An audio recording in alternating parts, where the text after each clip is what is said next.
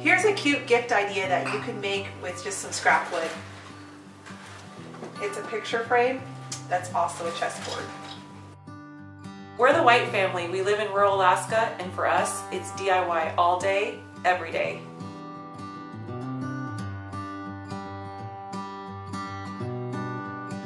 So this week we've been recovering from our trip to Atlanta and everybody got sick and we had back-to-back -back hockey tournaments that were traveling tournaments and we are barely surviving right now. So this week we took a little break from big projects and we tackled this.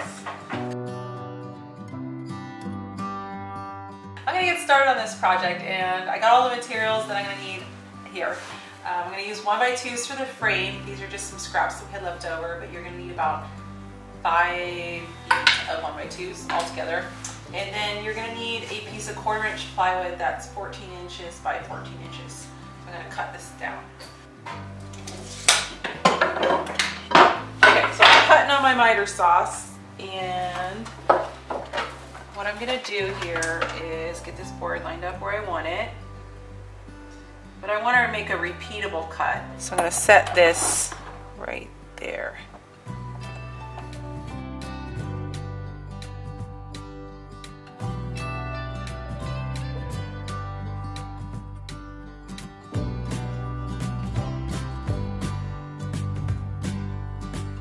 All right, so now I'm going to cut the shorter parts of the frame.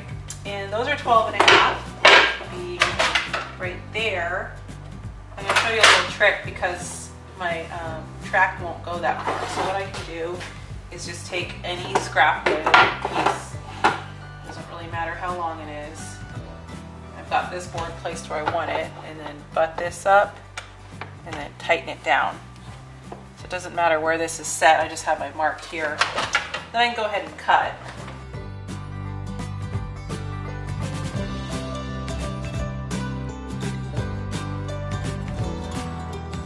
So I only had two cuts here, so it's not a huge time saver, but if you had a lot of cuts to do, that could really save a lot of time. Okay, so I'll show you what I got here. So these are the longer guys, and these are the shorter guys. And these two are cut at 14, these two are cut at 12 and a half. And see, it all works out to 14.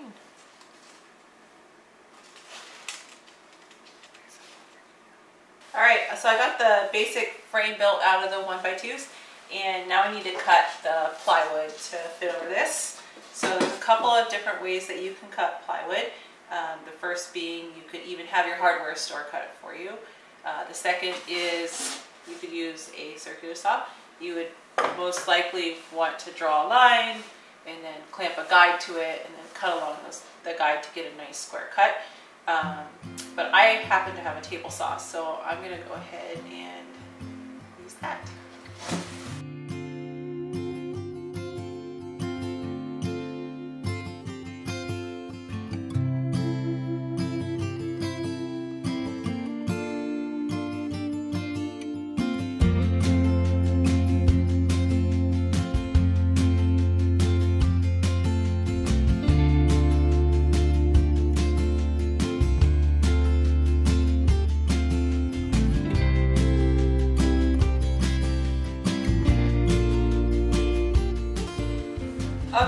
Start putting this thing together, but there's a couple different ways you can put it together. You can screw it together, you can pocket hole it together. I'm going to use an 18 gauge brad nailer, and this is the same nailer that you would use to like put the backs on furniture, to put trim up in your house, baseboard, a lot of different uses. Uh, definitely a tool that you want to have. But whenever you use nails, you want to use some glue. So, glue there. And you're working with a nailer, um, it's like you need a third hand almost to kind of hold the board in place and then hold the nailer. So I'll just clamp that second board and then I have something to put pressure against.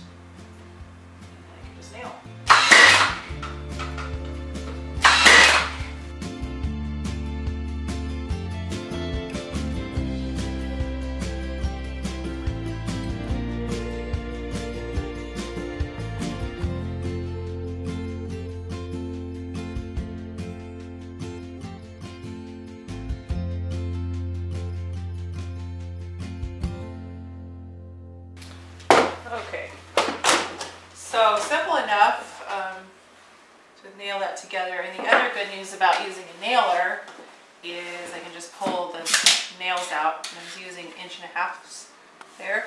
And I can load it up with some short ones and then put the plywood on. So these are 5 8 inch long brad nails. Put that in.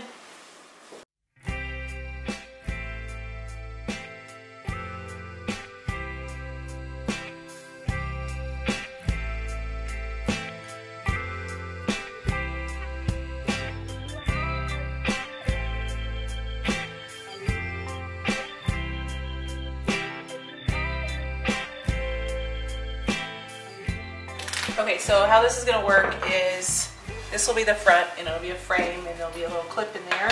You can clip your photo in there. And then on the back, I've already started doing it, but uh, I'll mark out a, a chess grid. So I just kind of found the center and then found the center of that and then found the center of that, basically divided up into eights, made little marks, and now I've got this 12 inch framings, this 12 inch square, like that. Hard part is going to be painting inside the lines. I'm already dreading it. Okay. All right, so Jacob's helped me with my craft project. Here, we're just taping in between. So our tape was a little bit wider than our squares are gonna be, so we're just using a utility knife to cut that tape down. Now we're gonna cut the tape this way.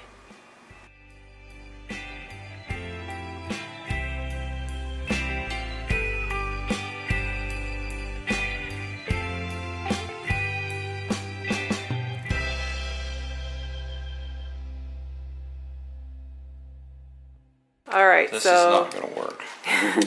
hopefully this works. We're gonna peel that piece of tape and then stick it. Oh, is it gonna work? There. This is way over my pay grade. this is too hard for you. Okay, we're just gonna keep doing that.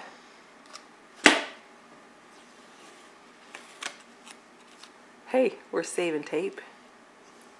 Not so much worried about the tape.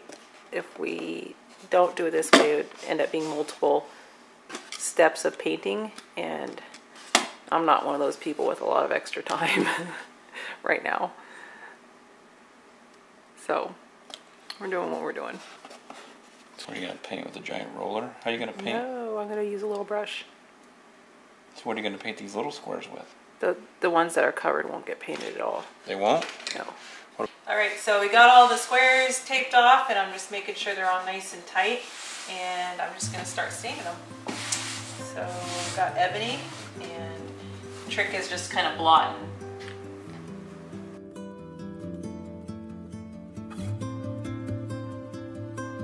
So we're doing this, um, but it's really time consuming and there's some spots that it's bleeding. So Jacob had a really good idea just to spray paint it. So we're gonna do that. We'll put all this away.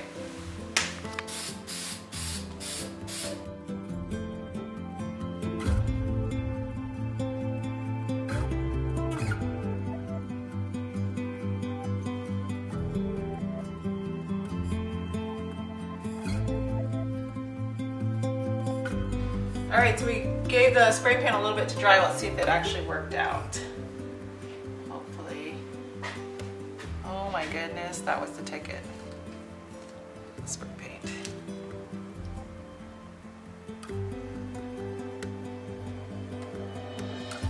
That's perfect. Well, that turned out a lot better than expected. So I'm gonna go ahead and paint the frame side white.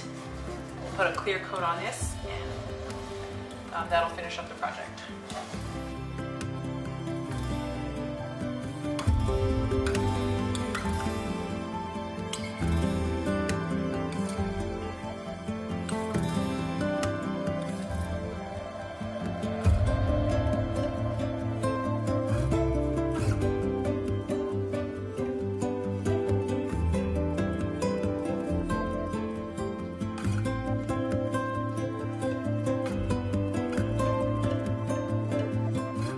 Our picture frame with the chessboard on the back is all done and it turned out amazing. Um, chess was a big part of my life when we were growing up. It's something that all of us kids could do together that challenged our minds and kept us busy and um, kept us off devices, not that we had them back then. So I'm excited to share that tradition with my own children, but do it in a way that the chessboard is always available. It's basically hidden in plain sight. Um, so a little before we get started playing, the project um, was just scrap pieces. So we spent nothing on the chessboard. The chess pieces I think were six dollars. I ordered those off of Amazon, and the canister I think was three dollars. So we're about 10, bu- 10 bucks or so into this whole project, which I think is a real steal for such a um, attractive and fun addition to our home. So anyway, I'm going to teach my daughter how to play chess, and hopefully next week we'll all be back to our, ourselves and tackle another big project. Thanks so much for watching. We'll see you next Monday. All right. So do you understand? Hey, so what are you doing? What do you know about chess? Nothing. Okay. Actually, I know that these only go like that. Yep. These can all turn their own colors. Okay. So the pawns they can either move two on the first one or I know one, that. And then after they move two, they can only go one. Hmm. She's learning fast.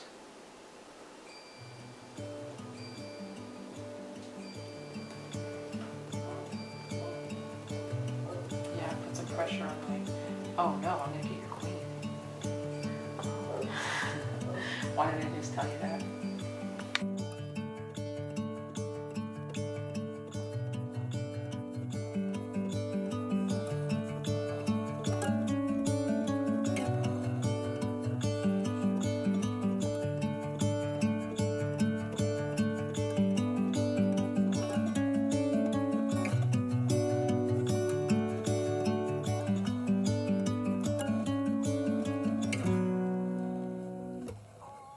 Yeah.